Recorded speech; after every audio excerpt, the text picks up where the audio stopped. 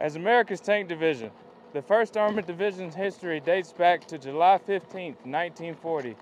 During World War II, 1AD was the 1st Armored Division of the United States Army to serve in battle. No strangers to combat, 1AD served in the Korean War, Cuban Missile Crisis, Persian Gulf War, Operations Iraqi Freedom, Operations Freedom Sentinel, and other operations, receiving many awards and recognition along the way.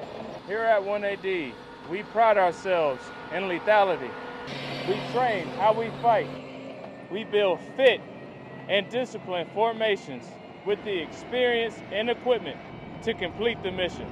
The 1st Armored Division's force posture is to achieve peace through lethality.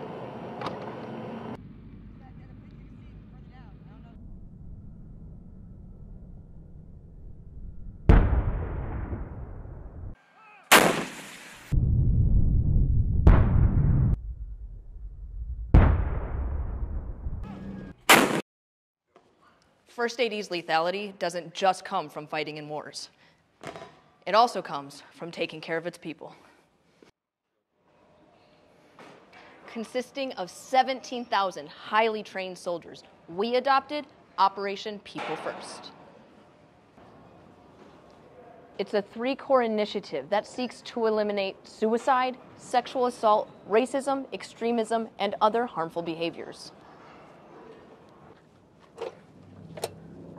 With people as our number one priority, we strive to build diverse and inclusive environments to fight and win the nation's wars.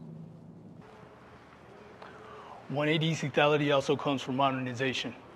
We adapt and improve what we fight with, who we fight, and how we fight. 1AD soldiers get to fight using the latest weapon systems and operate the latest equipment. Our soldiers get to clear rooms and train on weapons at our state-of-the-art simulation center.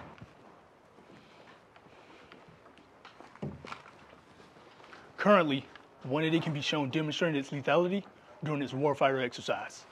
Since our very first commanding general to our current CG, Iron Soldiers of Old Ironsides are ready to deploy, fight, and win.